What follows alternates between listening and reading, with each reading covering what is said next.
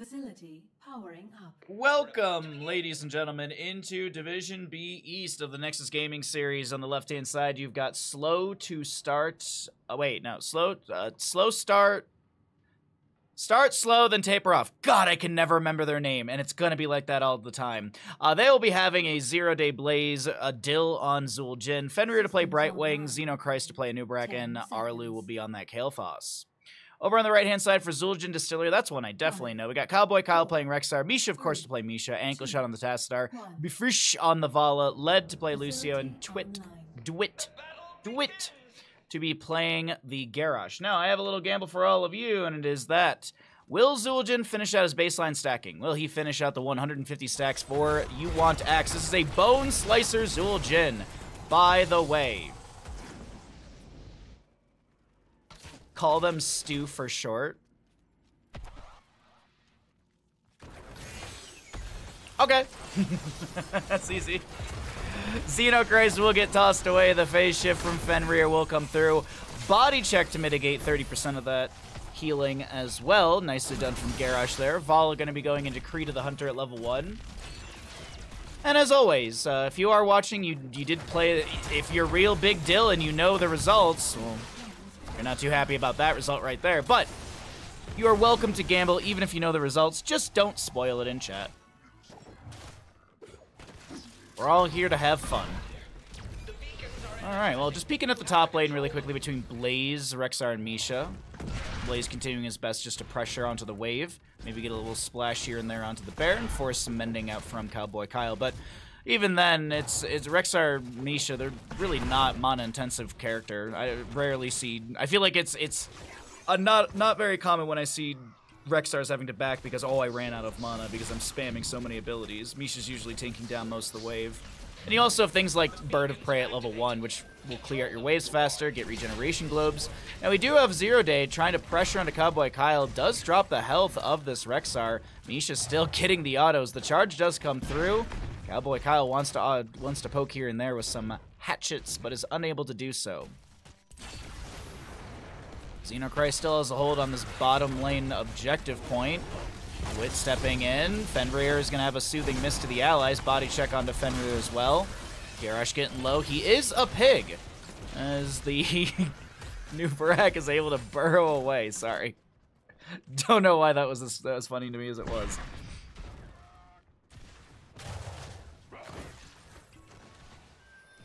Cowboy Kyle doing fine right now. The health of uh, Rexxar is a little bit low. I'm just going to check really quickly, see. Uh, so it's 8 seconds on as well. All right. Meanwhile, I'm back in bottom lane. Xul Gin Distillery did grab a camp and are pressuring onto the fort front gate a little bit. Garrosh looks to step in for an enemy, but he goes in for Xenochrist. They, he, oh my god, the living bomb value almost gets a double kill. And Valla will go down. That's a one stack over Creed to fall, or at least 20, or excuse me, 5% off the 25, so bonus attack speed has been reduced.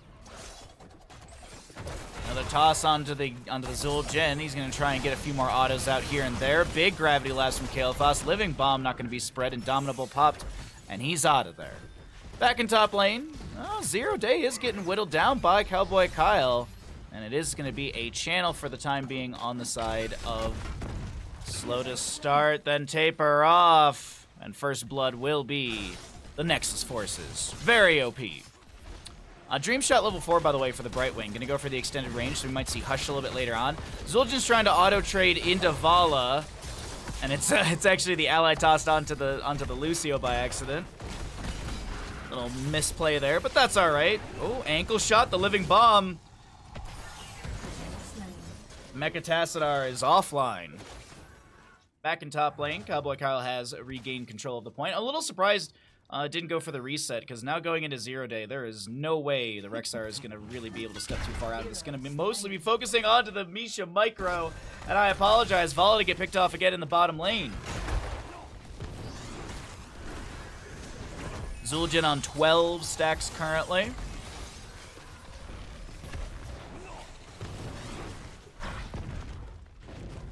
I, I can't believe, yeah, Cowboy Kyle's microing this really, really well. Not missing out on any, many, if any, experience in, in, the way that they're playing this, but of course can't really step into the... Can't step into the uh, into the blaze. I, I just find it so funny that Misha's winning the fight. We've been watching a lot of the top lane. My apologies. The solo lane matchup's actually kind of interesting between the two of them. And we will see, well, we won't see the trade onto Kael'thas for the Lucio. Oh, Valla picking up 40 some stacks. Almost getting to her first 1%. Back in top lane where the action really is. Cowboy Kyle is tapped well. Brightwing to phase, phase shift in the top lane, and Misha, Rexxar, they can't play this too aggressive anymore. Oh, no, the men's in place. The, the, the, the bear's fine.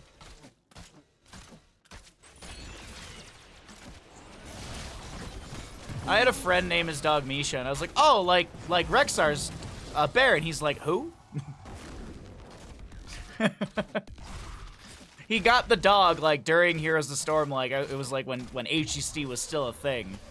And I was like, I was like, oh, I didn't know you were a HOTS fan, dude. And he's like, a what? And I was like, oh, maybe World of Warcraft. Maybe maybe, maybe Hearthstone. I mean, he, he is from Hearthstone, realistically, right? Oh, well, phase shift down to the bottom lane from Brightwing. She got that peekaboo shielding and little AoE reveal. We're getting ready for our 10 Talonteers. Kael'thas is going to step on the point for a few seconds. Gravity Lapse connects onto two. and Anub'arak burrows in.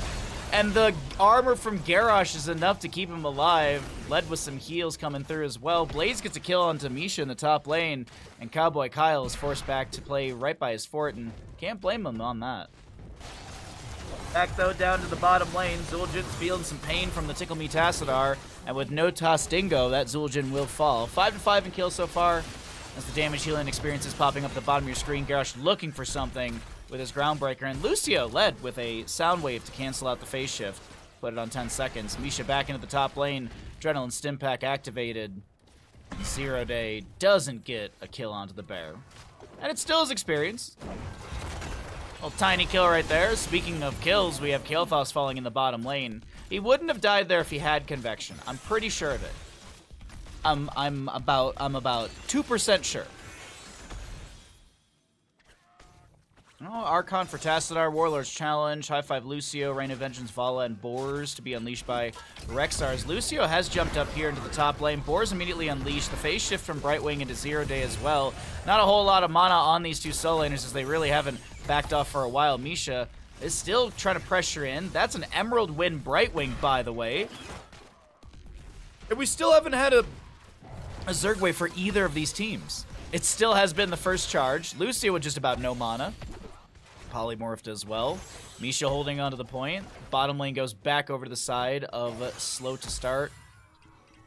Slow start. We'll just go with that. Slow start. It has been a pretty rapid start for both these teams, I have to say. Things are happening on the screen in front of us. Rain of Vengeance from Valla. Dingo forced by Zul'jin. He's going to try and get a traded kill. And he will be able to do that with the Kael'thas Phoenix. A Rain of Vengeance almost grabs Xeno. And the Valla can't vault forward. The Beetles will come out, and those will tank some of the damage. Meanwhile, in the top lane, Rexxar will lose Misha to the Banelings. You gotta be careful of those Banelings. They are the best unit in all of StarCraft 2 until that patch comes through. Until until the, the StarCraft 2 patch, Banelings are the best unit in StarCraft 2. That's why I won so many games with my Banelings yesterday. My Banelings that look like Hydras and Ultralisks and, and Roaches. I don't... I may. I think I actually lost my only game that I actually played Banes in. Oh, the top lane fort has fallen. Down in the bottom, the garage will go down, and the siege does continue. This might be a double fort soon. Anub'arak does have some beetles to spawn. He is, uh, he does have the Legion at level 1. He's also got the Legion Scarabs. So these beetles are... I believe the beetles uh, then supply a little bit of HP to him, right? yes, yeah, yeah, yeah.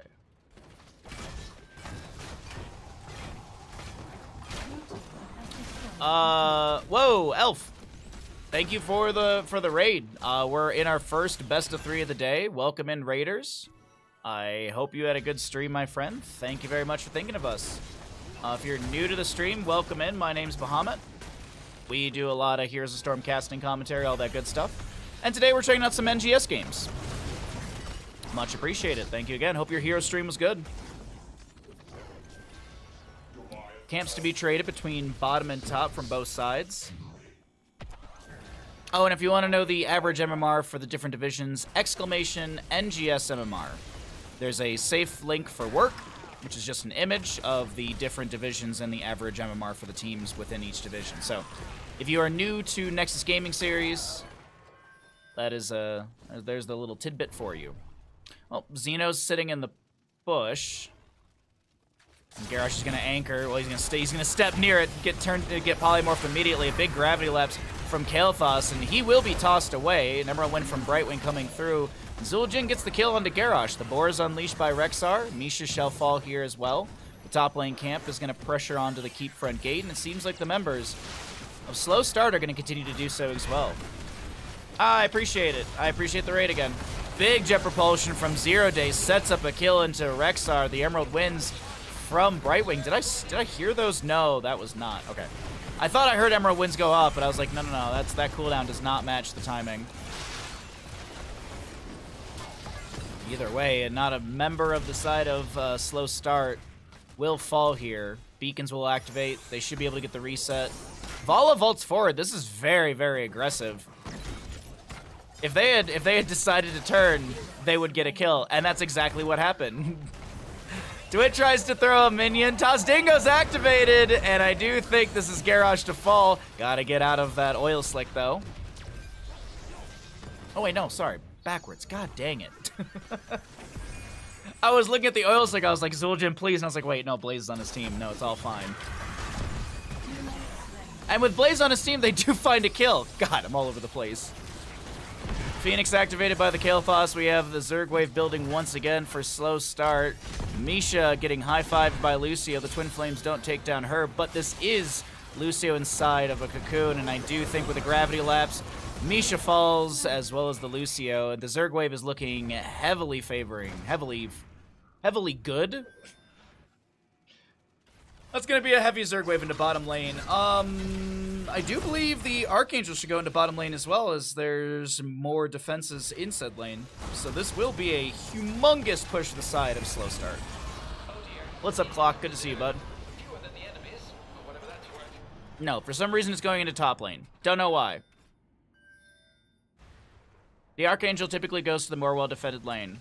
Don't know why it, it went to top, but okay. I asked a Blizz developer about this one time, and he just goes, I don't know.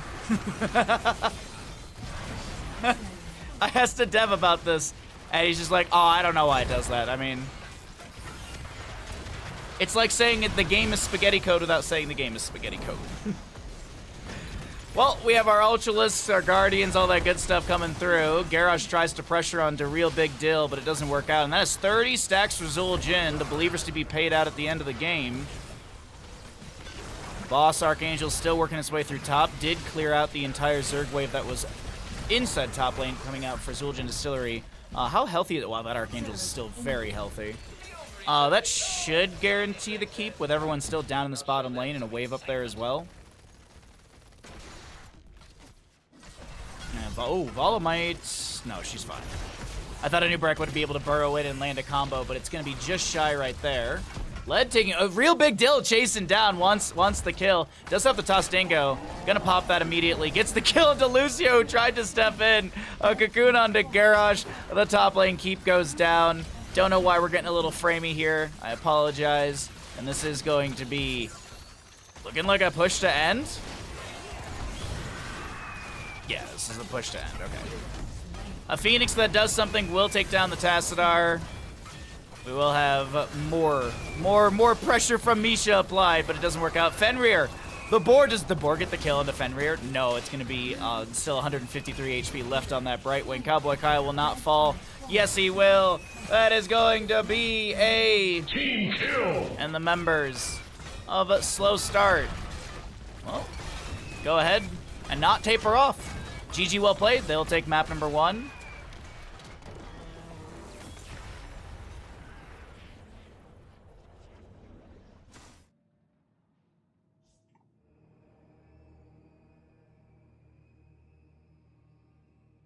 Uh, is like everything broken today? Yes. I updated my graphics drivers before stream.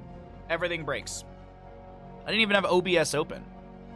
Uh, sorry, my stream elements alerts are just not working. So let's see how we can get these to work. I mean, it worked actually earlier, but now it decided not to. Uh, let's see if we just completely reset this whole thing. Reset session. Session reset failed. Not surprising.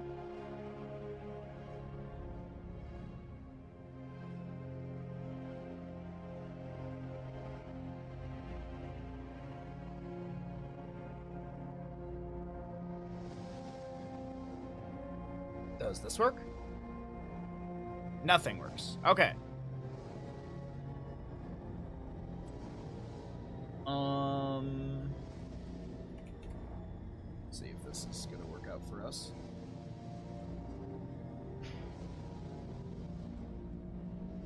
I blame Elon Musk. Can I do that?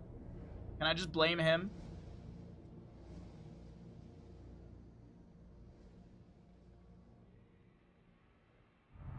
There we go. Works off the website. Welcome. There we go. Gosh, that took forever. can I just can I just blame him? Like can I am I can I do that? I agree. I absolutely agree. Oh, it is. Why does it look like it's stormy outside? It is beautifully blue. May hmm, I guess we're getting a storm.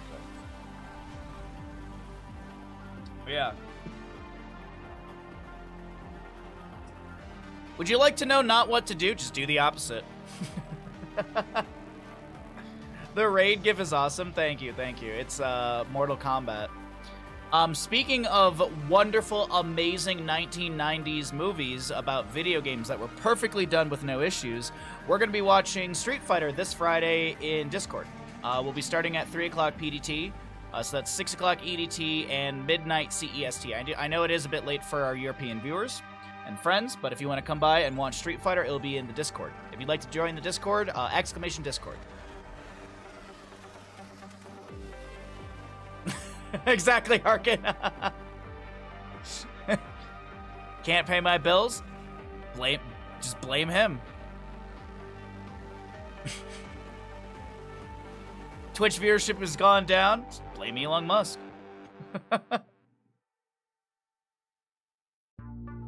Am I picking up the new Mortal Kombat? Uh, uh, not not right now. Uh, if I were, I would probably play it off stream. I don't know if people really want to watch me play it. I one really need to save for a PS5 so that way I can play the Final Fantasy Remake Part Two that comes out in February. I also need to set money aside for probably Lies of P at some point, so that's 60 bucks. Um, so yeah, like my, my, my game budget's very low right now. Um, you know, maybe maybe that's what I that's that's what I should ask for for, for my birthday. Is I should ask for um for for my for Christmas I ask I always ask for my season pass to, for the for the mountain because it's 400 it's $500. It's four four nine it's 499 US dollar. Um and I just always ask for that. I'm just like, I, just give me my season pass, and that's Christmas. And my parents, when they were visiting, they were like, "You have to think about your birthday too." And I'm like, "Shit, I guess I do." Like, I was like, "You guys bought me a season pass. That's good enough." But they were like, "You have to think about your birthday," and I was like, "I could maybe ask." uh, Man, asking for a PS5 feels like so much. I think I'm just gonna ask for a bunch of books. Get Game Pass for a month, Lies of P on on PC. It, oh, Lies of P is on on Game Pass. I wonder if I actually have, because Discord Nitro gives you a couple months free of Game Pass, so maybe I could do that and save myself the sixty bucks.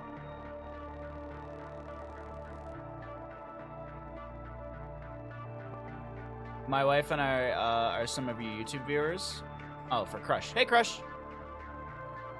Sorry, I missed your initial message about the am I gonna partake in Mortal Kombat 1? Probably not on stream. Probably not on stream. Sorry, I missed your initial question. I was all over the place. Um, books are best. Yeah, I'm almost done. So I've been reading the the Southern Reach trilogy, the Area X trilogy or whatever, uh, by Jeff Vandermeer. I'm almost done with book two, Authority. I I got to like the last section uh last night before I went to the bar to try and meet up with people, and um. it was like it was getting to like the culmination of everything, and I was like, I was like, you know, I'm gonna save this for tomorrow night. So I'm gonna finish that tonight, and then I'm gonna do some laundry and gonna do some stuff around the house, and uh, probably start the. Oh, I have to look at D and D stuff, but that that takes like 30 minutes mostly, and then maybe I'll start the third book tonight. We'll see. Mr. Cav.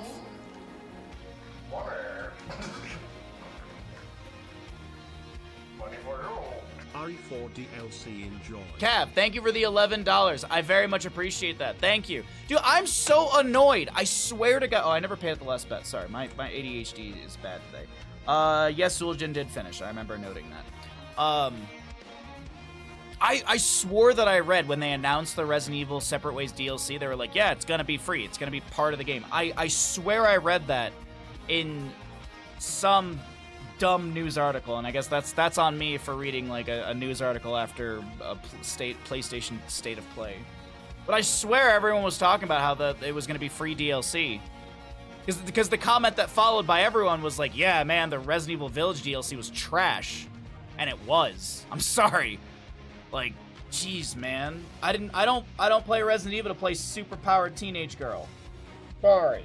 That's a different series. Anyways, my ramble aside, let's get into another game, everybody. There's a Nazeebo. Let's do some Nazeebo stacking. Does Naz uh, get stacks? Uh, yes, 175 or more. Uh, no, 174 or less. Alrighty, doesn't matter if he takes the level 20, we're just looking at the stackage at the end of the game, okay? Uh, because at level 20, there is a talent you can take to remove your stackage. Let's get into this. Welcome back, everyone. Sorry for the delay. I got a little off topic, and I feel like that'll be the motif throughout today as well. On the left hand side, we have uh, slow start, then taper off. I got it perfectly this time without having to look it up. We got an Arlu on Stukov, Xeno to play Varian. We have a Fenrir Nazeebo. We'll have a real big Dill on Sylvanas, and last but not least, zero day attack on Hogger. The battle begins in. To the right hand side, Xul Gin Distillery, looking to take us to a map number three on our first best three of the day. Five. Led on Brightwing, Cowboy Cow to play Leoric, Ankle Shot on the Falstad, Dwit on Stitches, and Befrish We'll play a Tychus. Now, of course, the big question is how many stackings will Nazeebo had have at the end of the game? Uh, Voodoo Ritual is uncapped. You get stacks from killing minions that have, uh, well, minions that die with poison on them. You also have a talent. The Blood Ritual talent can get you a few stacks as well for kills. And that'll be First Blood immediately over to the side of Slow Start. A promising kickoff here on map number two in our first best three of the day. Hey, we got immediate odds. Thank you, chat, for participating in the Twitch gambles.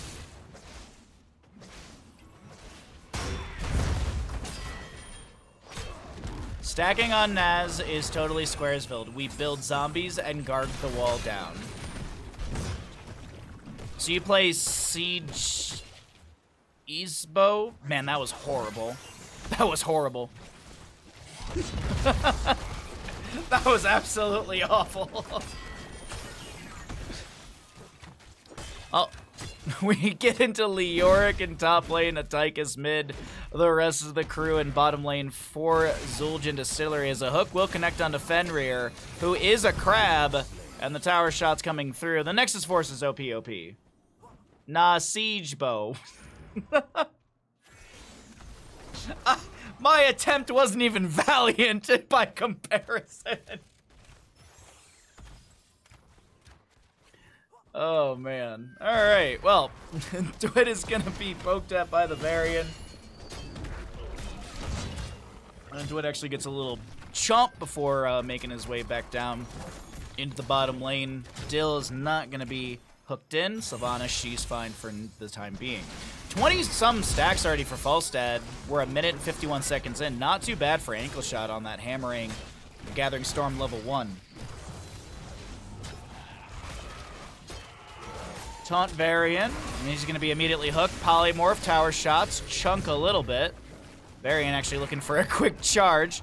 Sylvanas does have her Might of the uh, Mercenary. No, Might of, no, Mercenary Queen. God. Might of the Banshee Queen is, is the level one, and I always flip the two because that sounds like a good Mercenary Queen talent name. Anyways, Uh, sappers will get amplified damage as they rush on in, and that'll be the entire fort front gate going down in bottom lane. First objective phase, our triple altars, always top left and right, and then we have the center. That's the RNG location for this one. Could be in the bottom. And after that, we start getting to the, the randomness around the map, whether it's double, single, and the locations as well. All right. Right wing to check a bush with it. Oh, that's a blind hook into the bush. Arlu's going to be found. And with the barrel roll in, Ankle Shot wants to find this kill. Unfortunately, they're not able to do so. Xeno comes into the back line, slowing some of that damage down. Might have been a taunt to actually do that. Oh, wait, Haunting Wave in from Real Big Deal, but they wanted to go for the Brightwing. Couldn't get it. Hogger Leoric will trade out the solo lane locations, the top left and right. We get down into the 5v5 over the center point. Brightwing's going to Hearth out completely. She should have a phase shift onto somebody. I'm gonna assume it's onto that Tychus. Oh, nope, she's already back into it, and I missed the target. Sylvanas is gonna be picked, and missing the target is not what DeWitt's gonna be doing with these hooks. A nice double kill for the side of Xul Gin Distillery, as Nazeebo throws in a few more toads that delay out. 25 stacks on the Pandemic, level 1. And the Raven Lord will take 8 points of core damage. The Gravekeeper on the right-hand side will take only four. And the Raven Lord lose another member right there. This is four kills early on to the side of Xul Gin Distillery.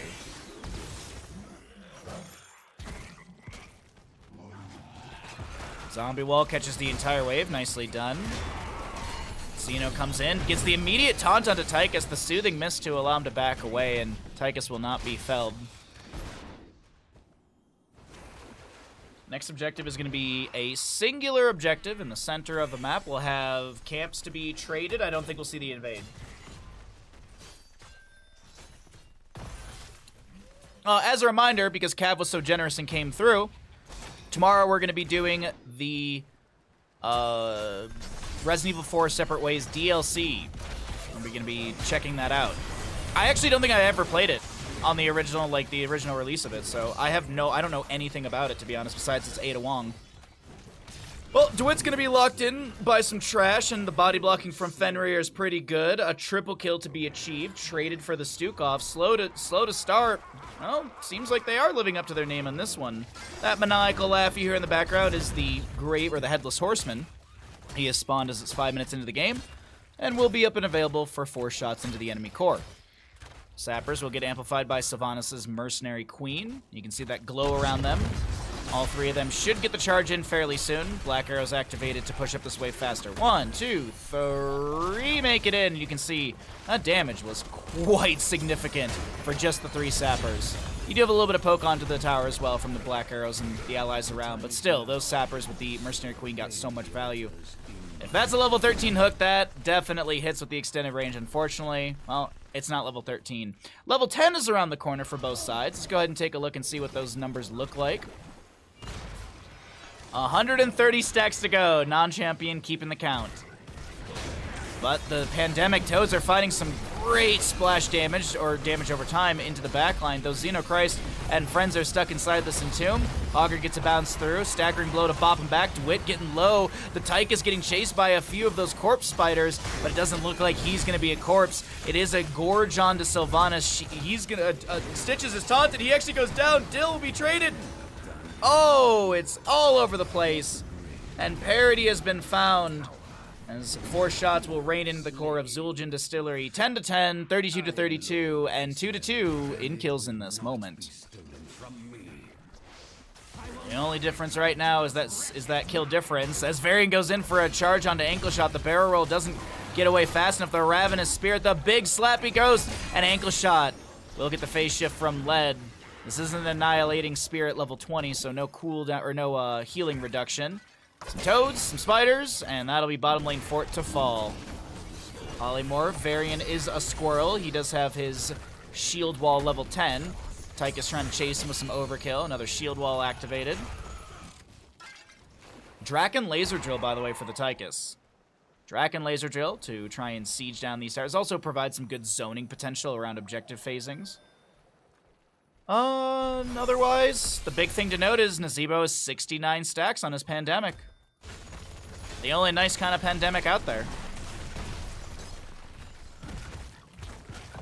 Baseline stackage, if you are just listening and you bet maybe, it's 62. Falstad was 71 stacks on Gathering Storm, seven and a half minutes in. Not too bad. Single altar again. It's going to be in the bottom most portion of the map. Going to see, yeah, they did get the bell tower back in control. Slow start. I feel like they actually should have waited a little bit. They should have waited closer to the objective facing because you saw that Nazeebo had to throw some spiders and that was pretty much it.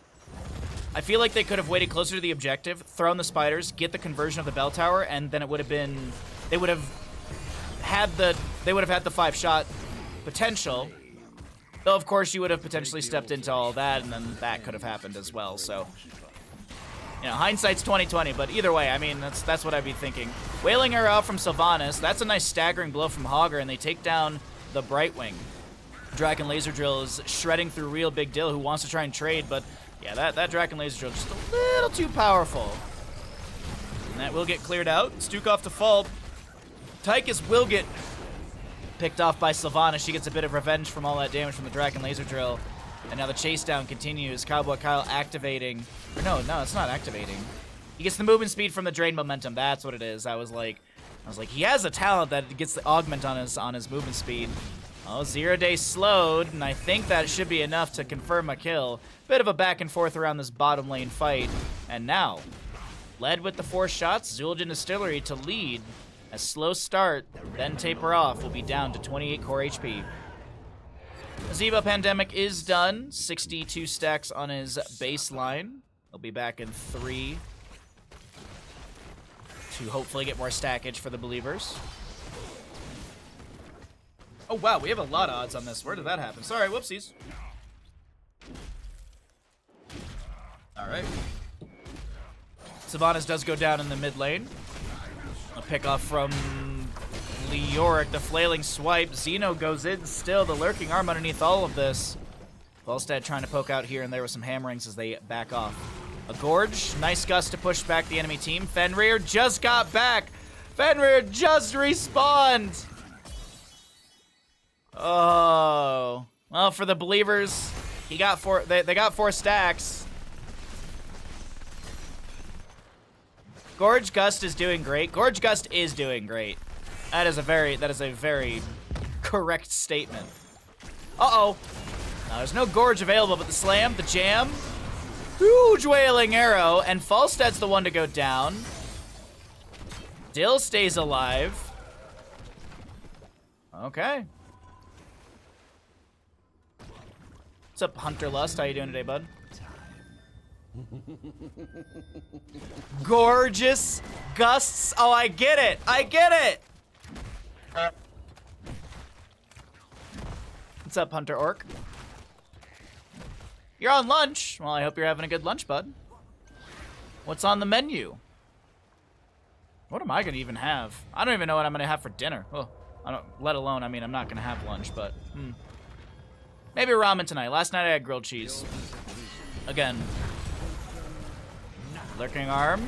Nice hook from Stitches. Xeno's trying to back away. The taunt onto the Tychus. They will trade out into. Oh, it's a huge Ravenous Spirit. The Ghost or excuse me, the gust does come out and interrupt it, but man, those last hits, last hits were enough. A variant of fall, and it's a quadra kill for the side of slow start, then taper off.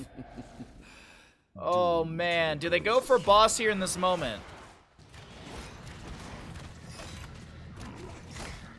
Of course not. Hard siege the top lane.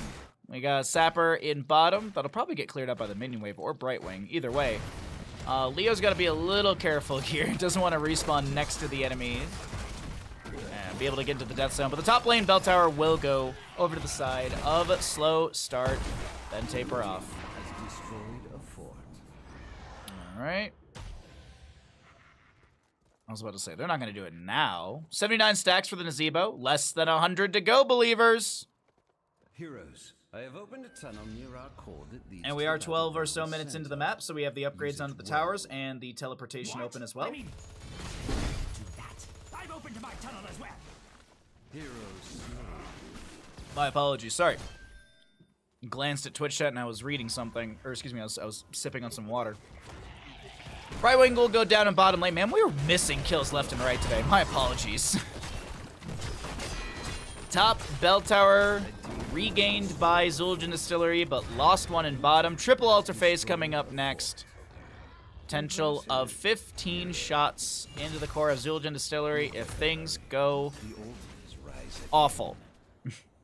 a, a good couple kills in mid lane, um, and absolutely. So I was looking at what Crush was saying. You know, now's the time to AFK soak Nazeebo. Oh, level and some change to go for for the for the 20 upgrade if they want. They could go Annihilating Spirit still. That's a Hoardapult in from Hogger. Fenrir will fall. Didn't go for Ice Block at 16. Phase shift onto onto the stitches as there was a gorge into Sylvanas. Polymorph as well. Sylvanas is turned into a pig. Someone will get the last auto. Zero day gets the chase down onto Hogger. The staggering blow finds the kill. It's two for two as the objective phase is still up. And Hogger, Brightwing, rush down towards bottom lane. Varian looking for a potential play into Cowboy Kyle. And ho! Whoa! That's a good lurking arm.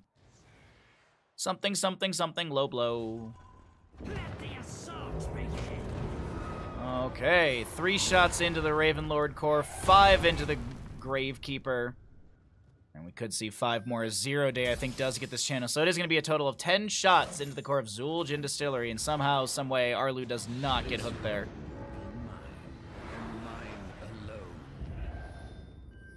Enough. Nazeebo has respawned. Believers rejoice.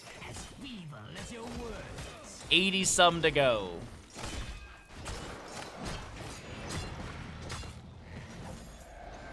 Oh, the hook onto Xeno immediately into the death zone. And the gust flank into the. Oh my god. Wow, they actually only get one kill. My brain was like, oh, it's gonna be a double kill, a triple kill with Hogger going in. Nope. They get a singular kill into Stukov. Fenrir getting run at right now. No control active by, activated by Hogger. He's getting some great damage splashing around. Unfortunately, Hogger is dead now. Ravenous Spirit. Nazeebo did not take a level 20 yet, and the big Slappy Ghost will get a kill. To be honest, I'd like to see Fenrir go Annihilating Spirit at level 20. Not that I care about the stackage, it's just I feel like Annihilating Spirit will be really, really good in these team fights. And yes, because it also does have the healing reduction by 50%. Oh, you love to see it. Big Slappy Ghost just got slappier. 98 stacks for this Falstad on his Gathering Storm. 99 on the Voodoo Ritual for Nazeebo.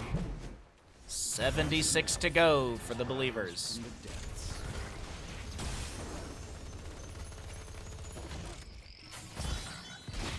Oh, Stark, I love it. It's so good. Like, I, I absolutely agree.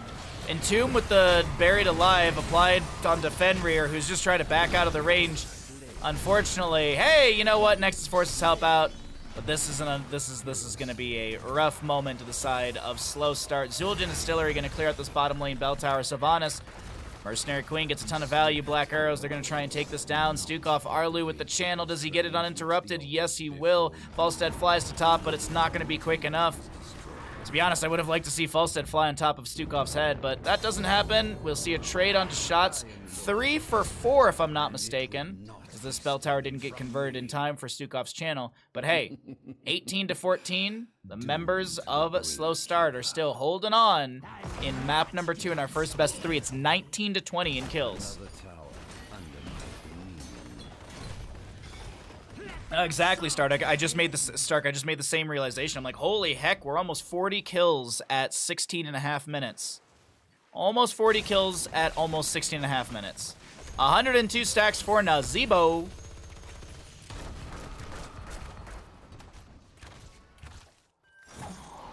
Zero Day gonna get hooked. The Gorge is in play as well. Hoardapult's available. Can he utilize it to get out? Polymorph, the easy window? Pff, unfortunately not. The damage is just a little too much. And uh, the Hogger will fall. By the way, uh, Tychus has over... Oh, wait, hold on. Ads are going to try and play. Let's get rid of those. No thank you, ads. Um, so baseline for the Tychus minigun duration is 3 seconds. This adds 0.03 seconds, so 100 stacks would be 3 seconds. So he's at he's over 6 seconds of, of duration of minigun. Just just want to point that out for all of you. He's he's over 6 seconds. It's like 6 point something seconds. So he's doubled his effective time. A hook on to Real Big Dill doesn't get the anticipated uh, move out of the mid lane wave. Zebo gonna try and clear out these sappers really quickly. But look at the setup already onto the left-hand side. Augur dead for 15. What do the members of Slow Start want to do here? A hook onto Real Big Dill. Oh! The members of uh, Slow Start, they, they're going to have to give this away. That Stepping into this is a horrible idea. They get the point blank gorge onto Xeno. Stukov with a lurking arm to zone back, but it's not going to zone back enough. Xeno should be falling here. Dwit with some good body blocking and Entomb from Leoric on the top of our screen will pull in or will hold Stukov in place. A flailing swipe pushing away. Oh, Mac, max range hook onto Hogger. And by the way, we are hungry, hungry stitches. Wind Tunnel Falstad, and they get the Cowboy Kyle channel. Nicely done with the Wind Tunnel, to be honest. I, I really like that call. And this is going to be a boss start. They're looking at a boss start. I mean, it's a Sylvanas dead for 20, Varian for 40. Fenrir gonna be hooked in? Oh no, there's no ice block or anything. Throw down some some spiders and oh, that's the end of that. A quadra kill for Xul Gin Distillery and a massive round, 12 shots in total will rain into the core of the Raven Lord down to 6 HP. What was looking like a decent game and maybe a 2-0 series for slow start is starting to slip away. 65 stacks for Nazeebo to go, chat. Dwit looking for the hook, can't find it onto anyone behind the fort, but the mid lane bell tower will go down.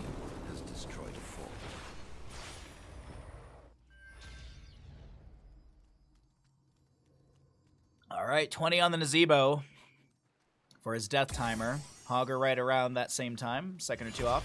This game is a bloodbath. What's up, Kaimo? Good to see you, bud. Happy Thursday to you. I'm really excited about tomorrow. Tomorrow we're, we're playing Resident Evil. Resident Evil, ooh, ooh, ooh, ooh, beautiful Entomb onto Sylvanas. Dill will be falling here. Falstad barrels in. The wind tunnel's available. Gets Xeno pushed up against the wall, but it's not enough to lock them in place. Another bell tower converted to the side of Xul Gin Distillery. If they get a single altar channel, they'll be taking this game. And I don't know if they can get the they, they can get the trade on this bell tower quick enough. Do they have the damage in 18 seconds? Uh, it's okay-ish. A hook onto Hogger is gonna be good. Hoardapult forced out as well. Zebo damage is looking promising in this moment. Drakken Laser Drill. No focusing diodes, but those Drakken Laser Drill to zone back. Falstad still in the bottom lane. He's going to get the channel, and this will be the end of map number one. Even, yeah. No, they don't get the bell. Ah, Fenrir can't get it in time. The shots are fired before the conversion happens. And ladies and gentlemen, Murloc mains and Cho'Gall champions. We're going to a map number three. GG, well played.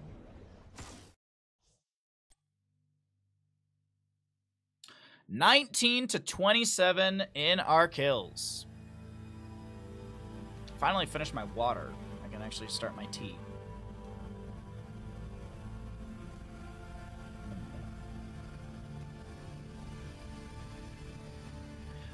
All right, well, Nazeebo believers, I am sorry. It is 174 or less.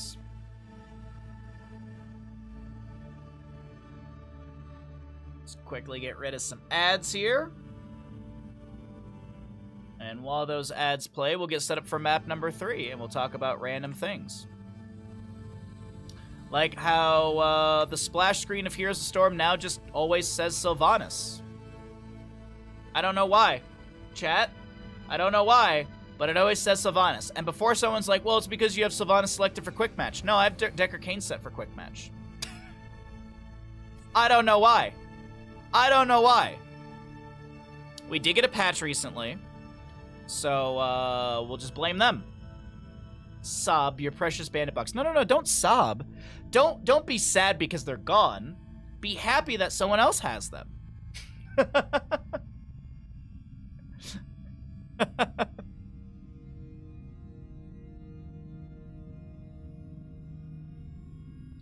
file for the Sylvanas home screen R is probably moved or deleted. It's a spoiler for the next major event. Yo, we're getting we're getting the Banshee Queen. They're adding Banshee Queen into Heroes of the Storm, everybody. Let's go. I mean, that makes sense, Crush, but I, I, yeah, you're probably right. How's your day, Lard? Happy uh, Thursday. Oh boy, I, I seriously, I can't wait for tomorrow's stream. Like, I'm, I'm, I'm, I'm excited for today's stream and all that good stuff. I can't wait for tomorrow's stream. Like, Resident Evil. oh. Like four was pretty good. Four was pretty good. They did a really good job with it. If I think, if I honestly think back to like playing through it and everything, it was very enjoyable. It was very enjoyable, especially because of all the nutting we had during it.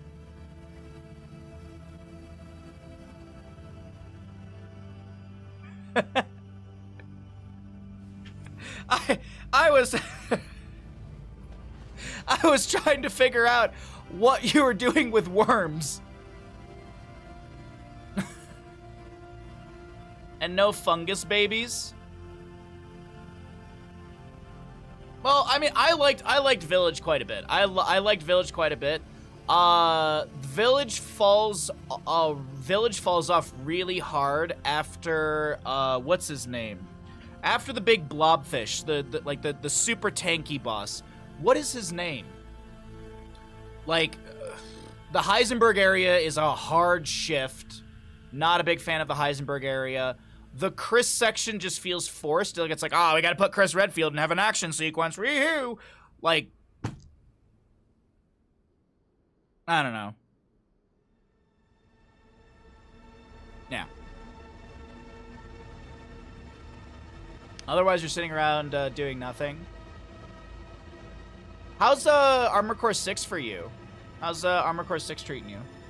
Sorry, for anyone wondering, we're waiting for ads to finish out before we get into our next game, so that way play uh, viewers don't miss any of the action.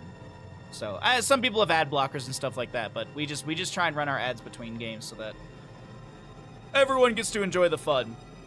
I guess like I could sit here and be like, sub to me so you don't miss action, but nah.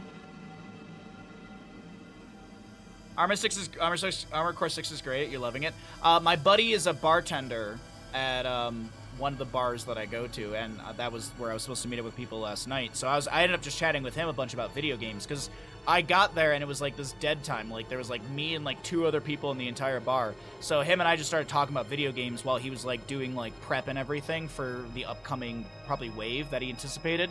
Because when I left at eight, like I got there at six ish, I left at eight. Um, when I was leaving, the bar was starting to get packed again. But we, him and I were talking about Armored Core Six, and uh, he he was like, last night was his last night of work because he works two jobs. Uh, his last night of work in both jobs for like 18 days, and I was like, so what are you gonna do? He's like, dude, I'm just gonna sit around and play video games. I'm like, hell yes. So he was telling me he's gonna finish up Remnant, Remnant too. He's got to he's got to do Armored Core.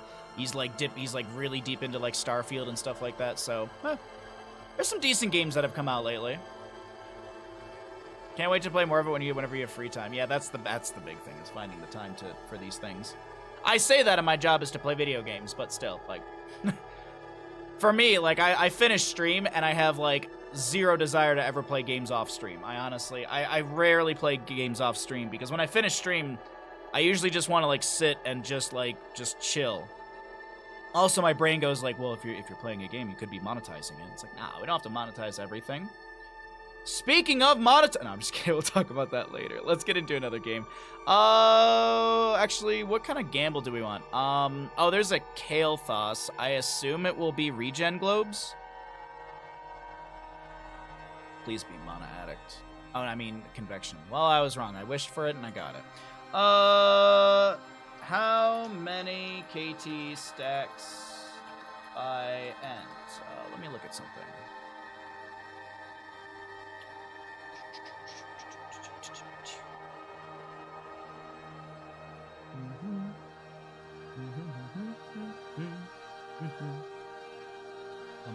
Bum, bum, bum.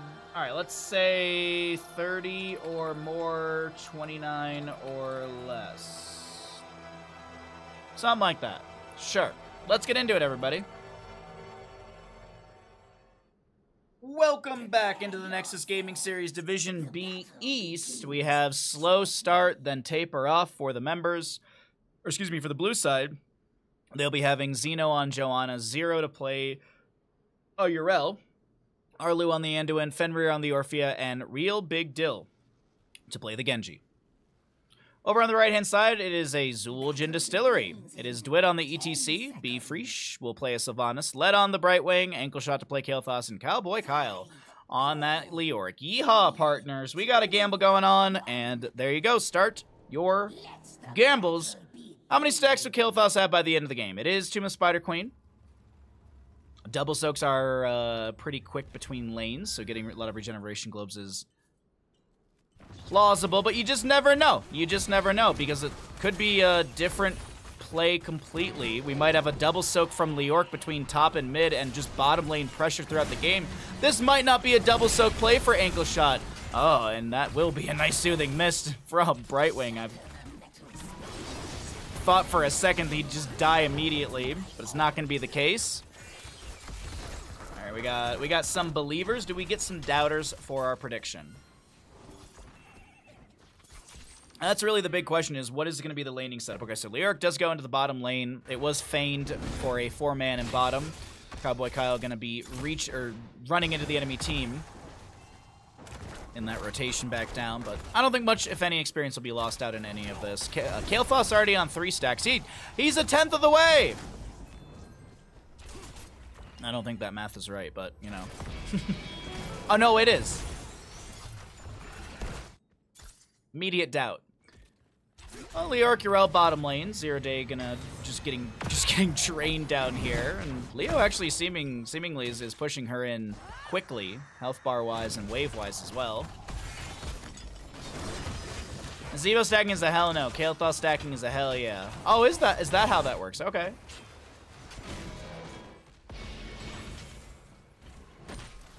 Yeah, I watched a couple streams of uh, here and there of like Lies of P over the last couple days, and definitely, definitely looks good. Definitely looks like a game to be angry at. but we do have Lords of the Fallen coming up, which I'm really, really excited about. It looks, it looks promising. Power slide in from ETC as more globes are being picked up by him and Kael'Thas. We have that Prog Rock level 1 for ETC. Orphea not done with her level 1, but just maybe, just maybe in some massive team fight with a condemn from Johanna, she could get that uh, triple hit. Actually, she could find it right here. Oh, no. Everyone was like kind of grouped up for it. Phase shift from Brightwing, connecting into Sylvanas.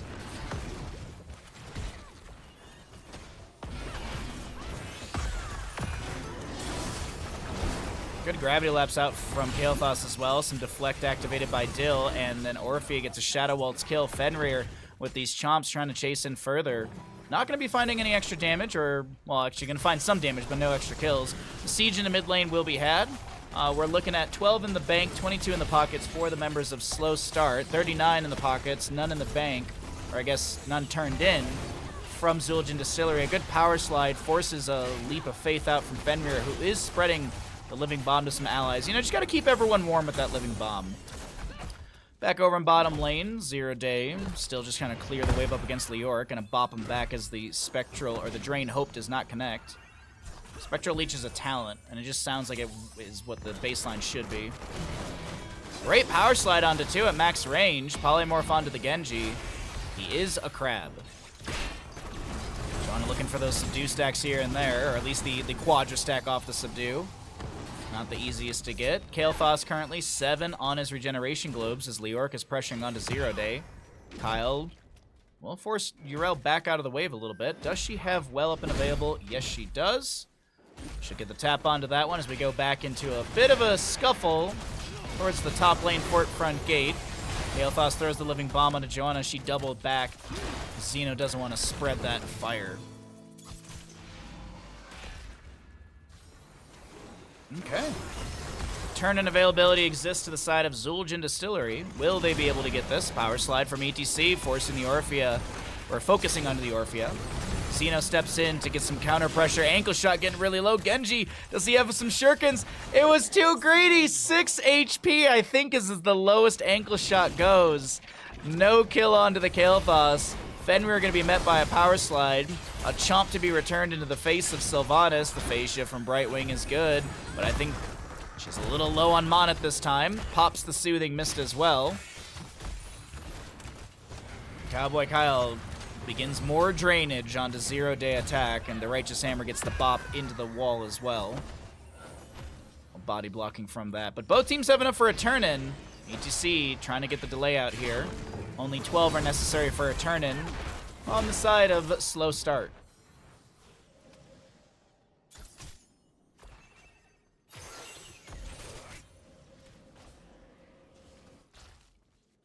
I do believe Auriel's gonna get this. Yeah, Auriel, Johanna do get the last little bit of a turn in. And here come the big bad blue web weavers for the side of slow, start, then taper off.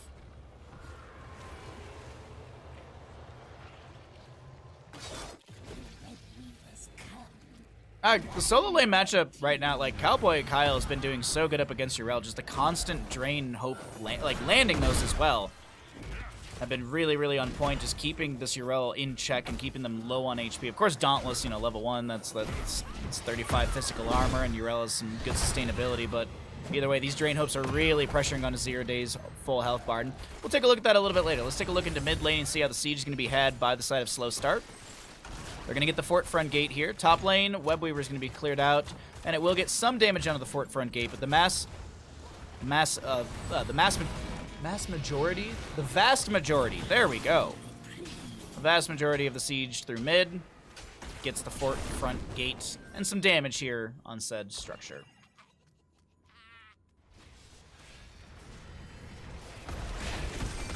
Cowboy Kyle, the soothing mist from Brightwing, and I can't believe it. Brightwing saves the moment.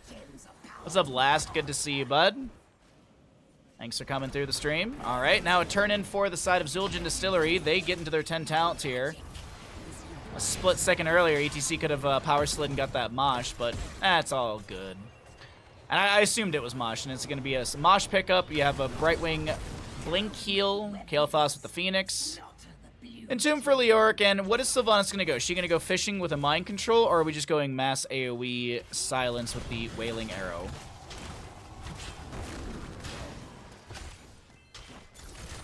Thanks for the second, Yanthor. see with the power slide through, just kind of threatening. Ankle shot with the gravity lapse trying to poke out as well. Gets a little bit of CC. Johanna stepping out. Does have that subdue level 4, so as I said, she hits two or more enemy here. She gets that massive slow. You hit the 4, then you get completed quest. And you'll be able to get that massive slow anytime you're hitting an enemy here. But the mid lane Webweaver looking very similar the opposing side. of Blessed Shield, a Light Bomb, big condemn from Johanna. The Crushing Jaws will be coming through. Slow start, then taper off. Pick up a triple kill, and that is quite a few gems to be lost on the side of Xul Gin Distillery as well. The top lane Webweaver, though, is going to confirm this fort. The wave is just too quick. There's not enough clear quick enough. I don't even think Asmodee and Dunk would have done anything. Well, maybe like a late game Asmodee and Dunk, but we're only seven, eight minutes in here. It would have been enough to splash onto the wave and get a few stacks for himself. But with the triple kill, that is going to be an available turn in to the side of Slow Start. On the side of Xul Gin Distillery, they're actually only two gems away from a turn in of their own. That's less than that's less than a wave. ETC gets a power slide through. It is a mind control Sylvanas. We could see her throw that out soon here. Oh no. Sylvanas actually having to use the Haunting Wave to get away. Kael'thas left on his own. He gets picked off. Auriel jumps in. Polymorphed. She is a crab. Face melt. Oh, that's a nice Flesh Shield. Condemn. Light Bomb. Dropping the Mosh. It's a huge Mosh, but there's no damage, unfortunately. Genji goes down to the Sylvanas on the north side. Auriel immediately rushes over, and she gets, I think she got all the gems right there. I saw a bunch of plus fives. Wasn't paying attention to her total. But either way, a nice kill onto Brightwing, a trade into Genji. Hey, Selexia, what's up, bud? Good to see you today, my friend. I hope you're having a fantastic Thursday. Appreciate you coming through. Oh, Blue Web Weavers will descend to the side of Slow Start. Auriel keeping the clear. Oh wait, oh wait, hold on. No. The way the way Xeno was was stepping in here, but there's no blessed shield available. Light bomb is still five seconds away. ETC, does he have cooldown reduction on his 13? He hasn't taken it yet, so I don't know. Phoenix thrown out by the Kael'thas, and this is going to be a zoning tool currently. Actually, let's leave the talents up.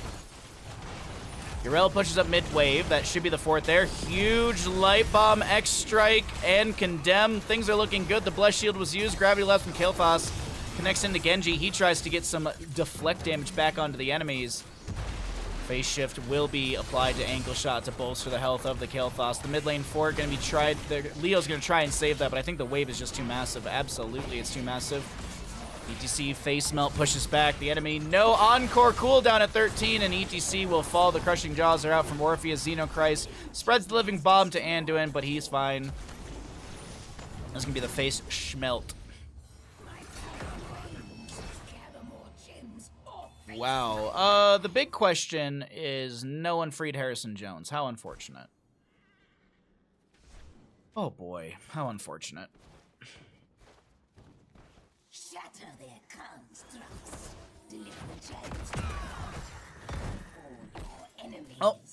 They're, uh, the last I saw, they were like 10 or so shy of turning.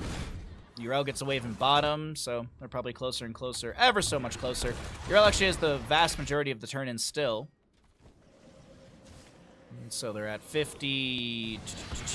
50, the 50 number. 50 and some gems.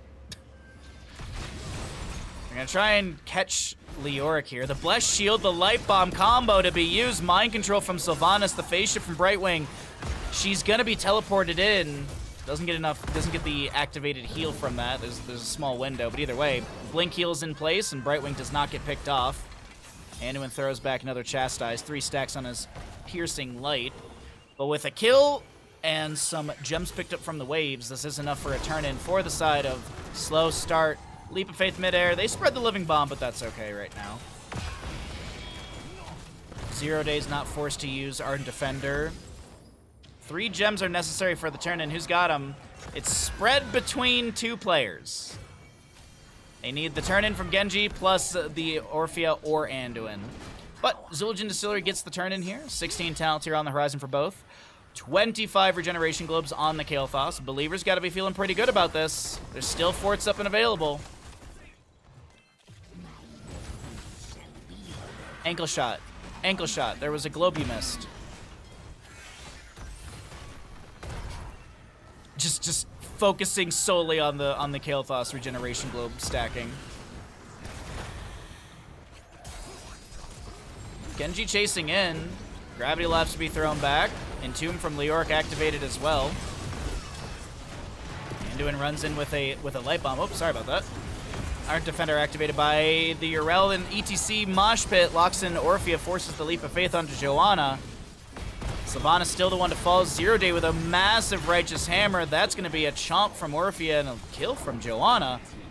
Structures are falling, but so are the health bars. Where are you going, Dill? I am sorry. What? Nicely done. Swift Strike reset, and the map to be cleared out. And in all of that, Kael'thas still at 25 regeneration globes.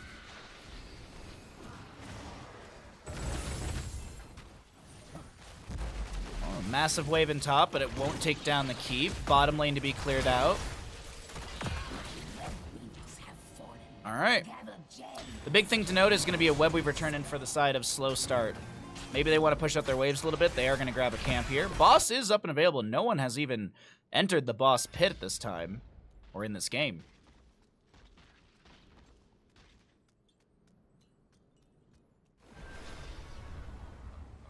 An easy camp to be grabbed from mid lane. As I said, only three gems are necessary, so just about anyone on the team I think can turn in. Yeah, anyone on the team can get this turn in right now.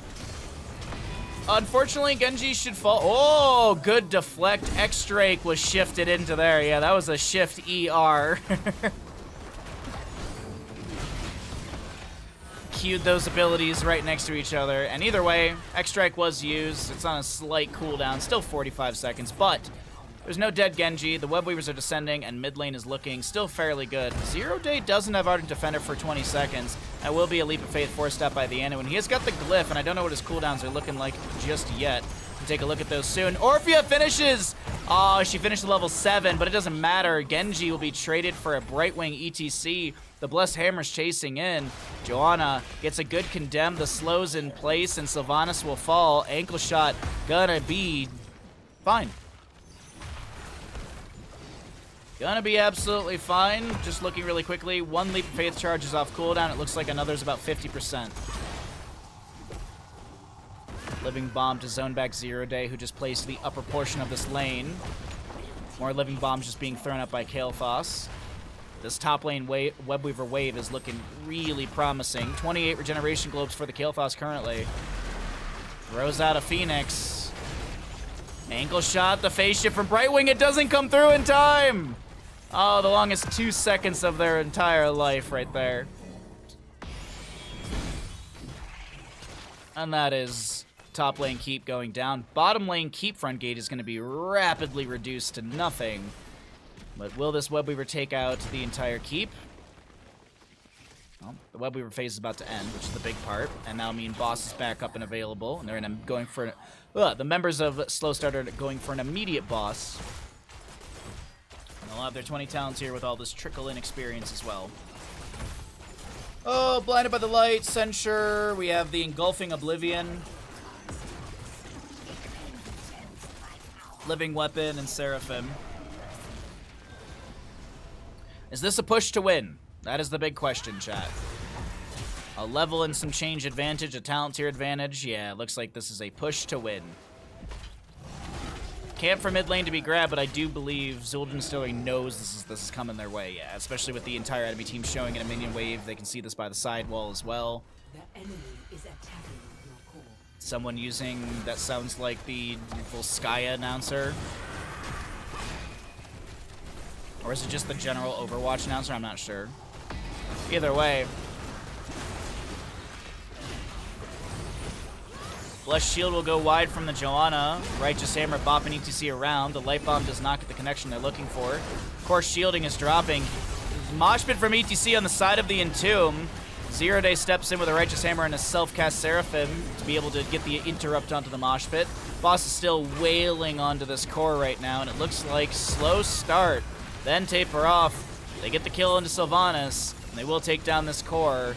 GG, well played. Our first best of three of the day goes over the side of slow start, then taper off in a 2-1 delivery.